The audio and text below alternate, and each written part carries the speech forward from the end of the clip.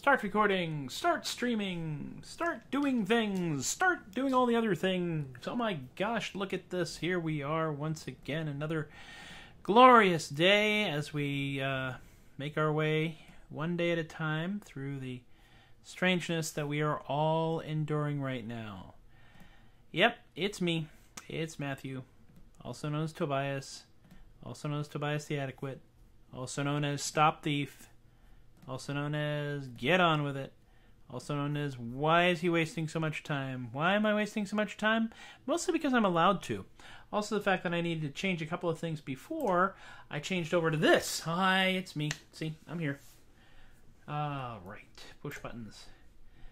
And I did all of that before pushing the button to go live. So there's a massive, massive chunk of Doppler shift, but uh, hopefully y'all will all tolerate that. So you know we're on the. It's kind of like the old school radio programs where you talk about respecting the five second delay, which is what they used to do back in the day when they did a lot of live broadcasting. Is that they would delay the feed from the truck to the broadcast tower for a certain amount of time, so that way if something was said or done that was not cool, they could edit it out. Uh, I think they actually had um, they can hear. Oh goodness. Richard Pryor was actually Richard Pryor and George Carlin were both on 30 second delays when they hosted Saturday Night Live. So that's a little bit of random trivia for y'all. Hi, once again, it's still me. So let's get this show underway, shall we? As I uh, ramp up here and try to put everything together where I need to put it together. I am once again operating off of two different monitors and a camera on a little bitty wobbly tripod. You'll notice it wobbles just a tad here if I shake it, or at least appears to. I can't watch the camera and watch the screen over here. Over here. I'm pointing at the screen now from the camera. Anyway, hi. Let's do a song, shall we? Let's do a song. We should do a song. This show is about songs, isn't it? I think it's about songs. We'll start with a little something, a little something heartfelt.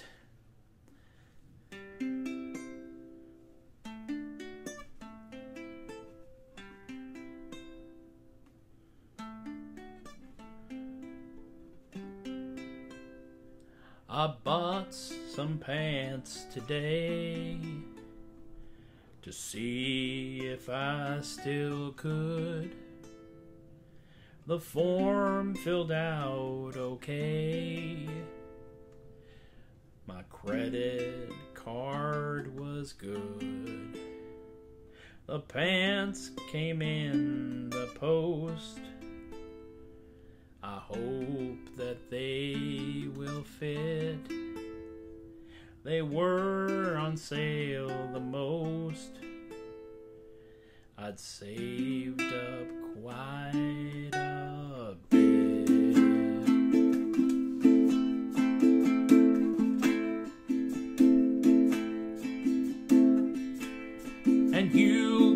some too, my sweetest friend.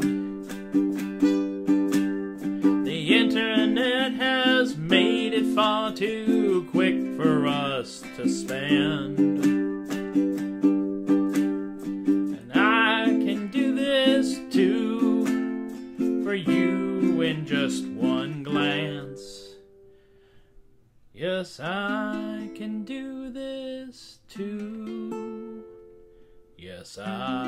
Will buy you pants. Well, I think that's probably set an incredibly weird tone for the rest of the show. I personally enjoy it myself, but hey, why not? All right, gang. Pants, pants, pants. Yes, um, pants are still a thing. Uh, Texas is opening back up, and so a lot of people are having to go out into the world carefully. Go carefully, tread lightly, be safe.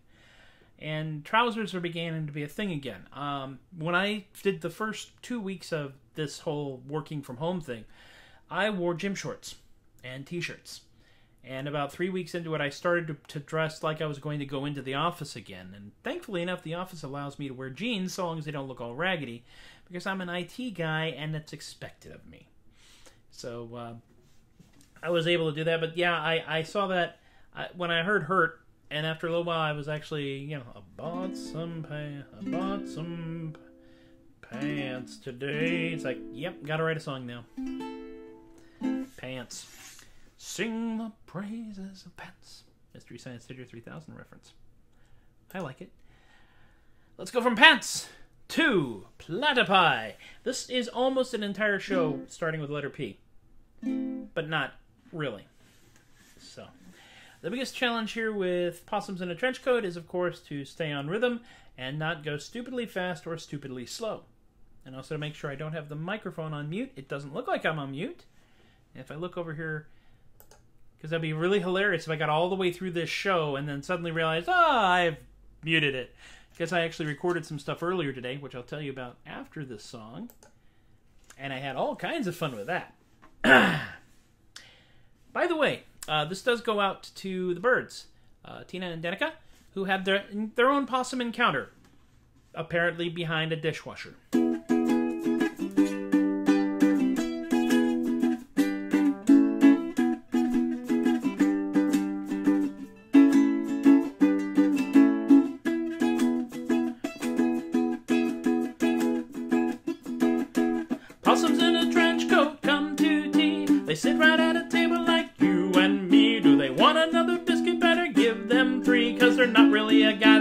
Possums in a trench coat.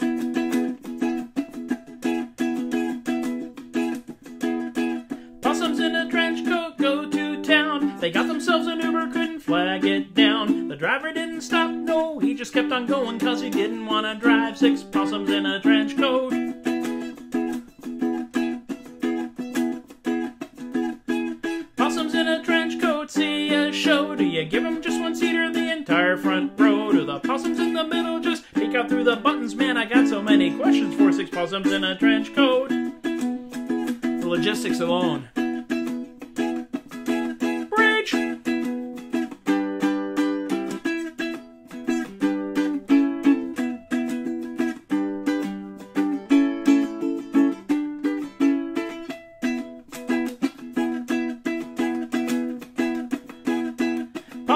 a trench coat on a date. Got there 20 minutes early, couldn't stand to be late.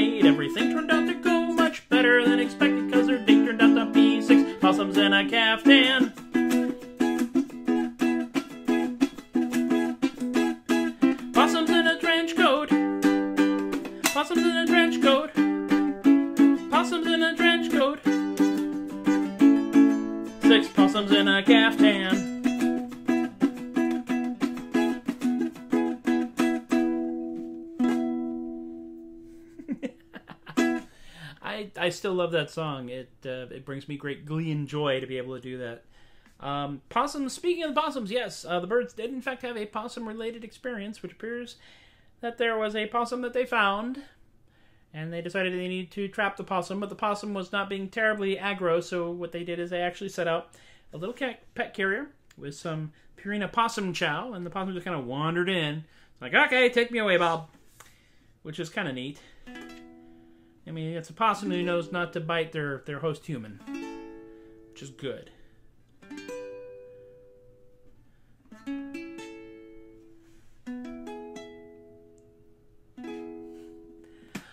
The thing I was going to tell you about, I actually did remember it. It doesn't always happen. Sometimes this idea just kind of go right out of my head. I am part of Sofa Shakespeare, the Sofa Shakespeare project. They've done two or three Shakespeare plays, which they diced up into one minute segments or so, and just gave them out. And people are performing them on mostly their sofa, but there's also been sock puppets, stuffed animals, all kinds of things. And um, I am actually part of Macbeth. I have Act 1, Scene 3, which has four people in it. So I do four characters and my three Scottish accents. Uh, what does that entail?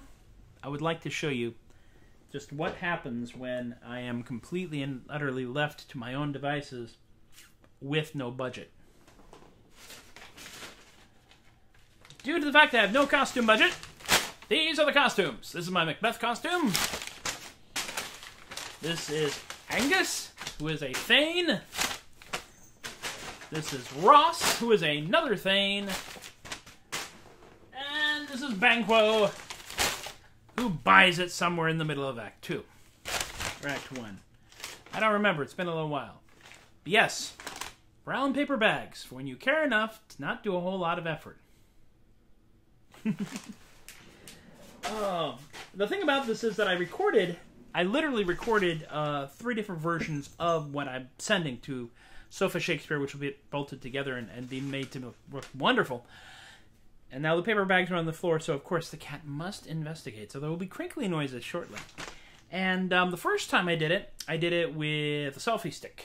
And I had no stability to speak of, and I couldn't remember the lines.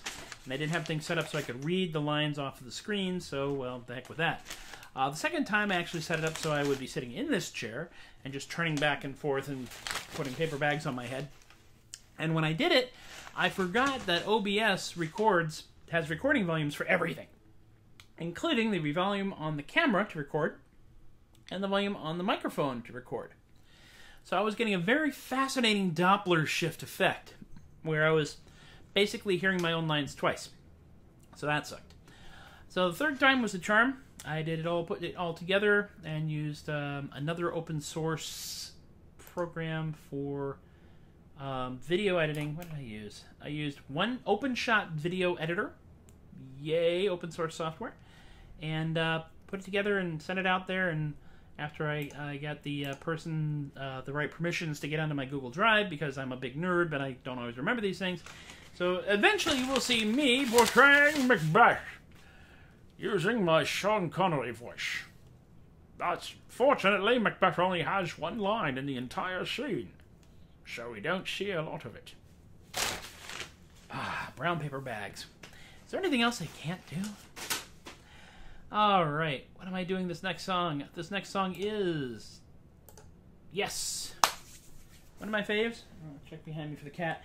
Our my my cat Delilah, who I think I have shown you all, has uh, taken up a, a somewhat disturbing hobby. She will put herself down here on the floor and nudge up against my chair, which is on wheels, which concerns me because I don't want to accidentally back over the cat. That's just, that's bad. It's bad juju, man. So let me see here. Uh, I almost know all the words platypus postman, which is good because I wrote it. know it? I wrote it. So, platypus postman is, of course, partially the fault of K Striker, who is currently going. On the other side of the internet, I can see you from here, or at least I can hear you going squee. It's true.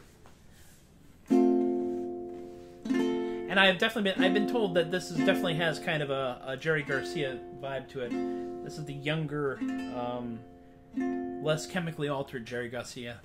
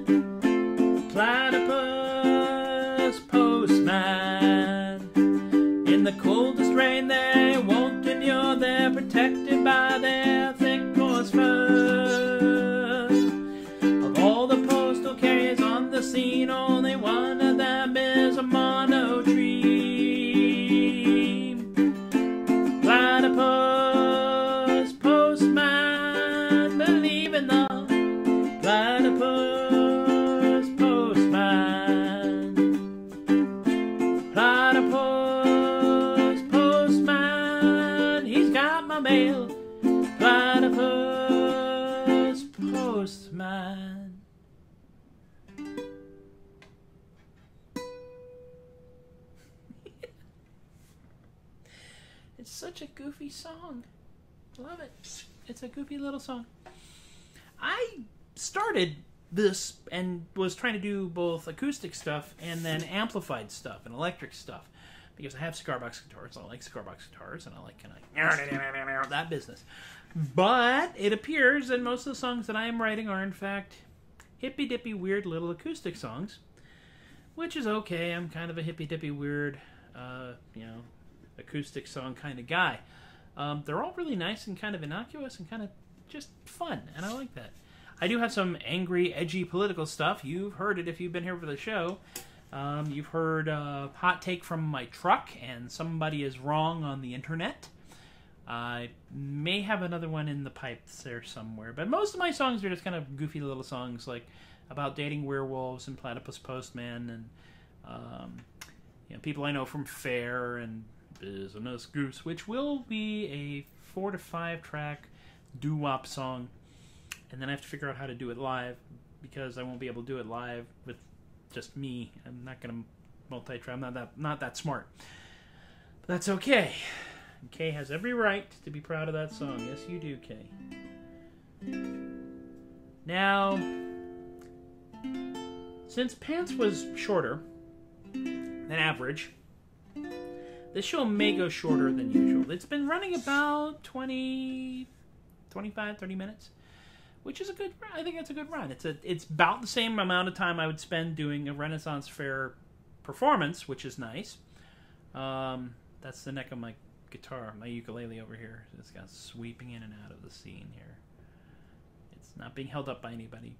I don't have a small man in a windbreaker like they did in the Highlander shows. If you ever wonder, if you ever watched the Highlander TV series, and now that it's you know cable has everything, you can probably watch Highlander on Netflix or something.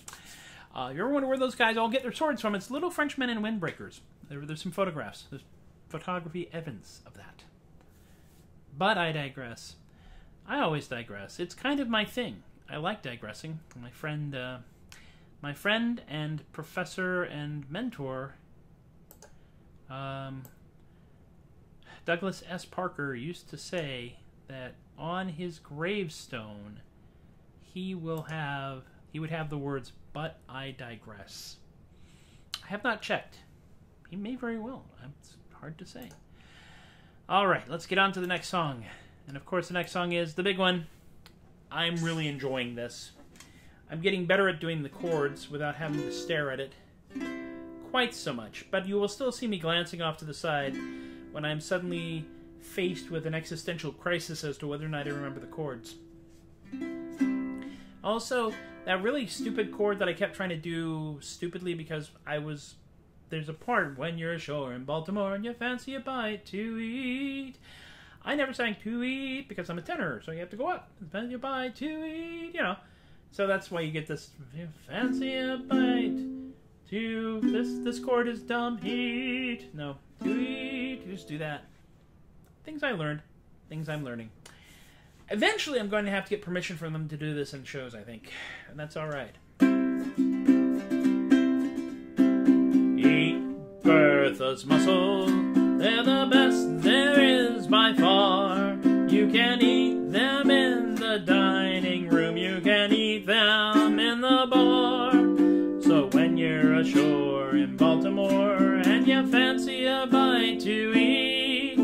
just follow your nose to Bertha's you'll be in for a rare old treat. Well, a sailor came to Bertha's. The problem most severe. His manly pride had been atrophied by a voyage of fourteen years. Well, he ate a plate of mussels. Now he sings in a different key. His jibboom set right, he'll be back there tonight, and he's not going back to. So, oh, eat Bertha's mussels, they're the best there is by far.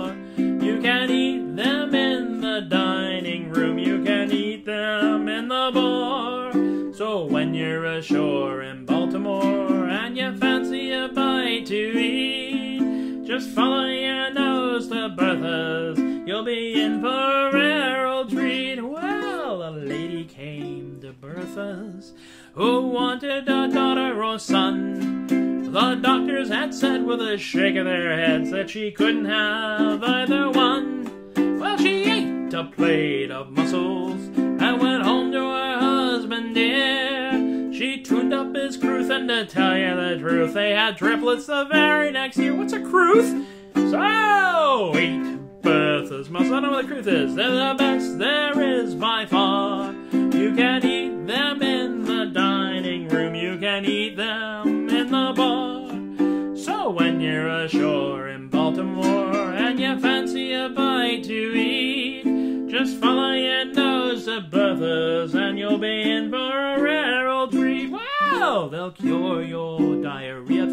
God. Your constipation too, yes, both. Just swallow a box for the chicken pox, for the measles, or the flu. So if you fancy a healthy life, get your daily dosage straight. I'll plate it near Bertha's mussels, and you'll live till you're 98. So eat Bertha's mussels, they're the best there is by far. You can eat them in the you can eat them in the bar, in the bar. So oh, when you're ashore in Baltimore and you fancy a bite to eat, just follow your nose to Bertha's. You'll be in for a rare old treat.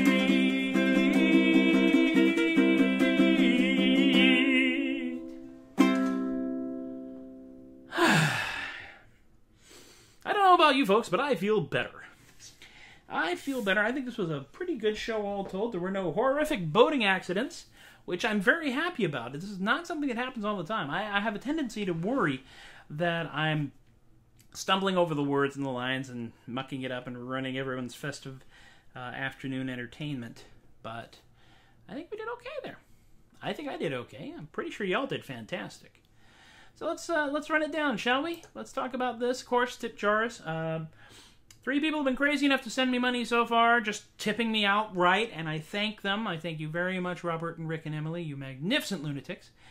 You can send me money if you want to. You don't have to. This is completely not required, okay? This is me basically getting my performance thing out and also having kind of a lovely, kind of semi live heckled rehearsal process, which I kind of enjoy. Uh, SoundCloud is where I got some recorded stuff. We can check out uh, Ham, uh, Possums in a Trench Coats there, um, an overwhelming surplus of diggity, and uh, Reaver Johnny Reaver, the four part harmony in which I sing all four parts and get incredibly upset at one of my parts. All the other, it's just, I don't even understand it myself. I I do these things. You can find these archive shows at facebook.com slash the adequate, which is the official Tobias the Adequate page. And I'm kind of playing with whether or not I want to move the show itself to happen on that page rather than do the show on my personal page and then hop it over to that page. I don't know. Life is hard and confusing as enough as it is. We'll see where we go from that. Uh, Carpe Diem Comics is, of course, the official emotional support comic, comic shop of the Adequate Podcast, of Tobias the Adequate, the Troubadork Show, and everything else I can think of. Why? Because I like these people. They're good people. Be nice to them. Check them out at carpediemcomicsonline.square.site. They are currently operating at limited capacity, but they still do curbside. So please do check them out. And if you are, uh, if you have a local comic shop or a local gaming shop or a local craft shop and they're open, support them. Do what you can. Support them. They don't have a big corporation behind them. Um, if all else fails, get a gift certificate, which is a gift to your future self. Hello, future self. Have a gift certificate. Why, thank you, past self. Wow, you weren't as much of a jerk as I thought you were. I have no idea where that came from. That's okay. Uh, Patreon.com allows you to support adequacy in our lifetime, and I currently have four mighty Patreon patrons. That's Jon and Brian and Laureen and Alysia, and uh, we just had my Patreon collection day, which was kind of entertaining as heck. I got a little money, and that money is going to go toward more stuff to do things like this.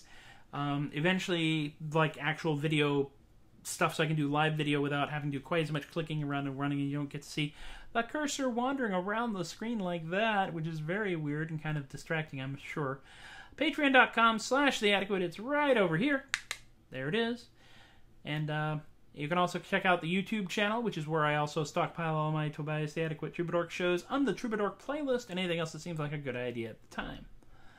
So I think that's just about everything. I uh, I enjoyed this show. This was a lot of fun. I was a little worried about it, but it is Tuesday now. I got two more shows this week, and I will do both of them, and then I will take Friday off again. We're beginning to wander back towards something we're calling normal, but not really normal, and I think it's uh, proceed with caution, gang. If you don't have to go out, don't go out. Uh, if you do go out, put on a mask, not just for yourself, but for others because you know there's no sense in you getting your schmutz on them and they shouldn't get their schmutz on you and there's a lot of really kind of aggro things I can talk to talk to as far as people that don't do masks and stuff like that and they complain about their freedom. But that's for Facebook and not for this show. So be good to each other. Be good to yourselves. I hope you all have had a good time. I had a good time. I am going to do a thing here and we'll just click a couple more things. We will go back to the card right there. And then I will simply fade, gently fade. You see that there's that cursor. I really got to deal with that. Let's do something about that. Don't I? Yes, I do. One of these days, I do. And we will just kind of, we'll just kind of leave it there, I think. I think that's what we're going to do. Got to leave it there for now. Yeah, it sounds like a plan. Y'all be good. Take care of yourselves. Take care of each other. I'll talk to you next time.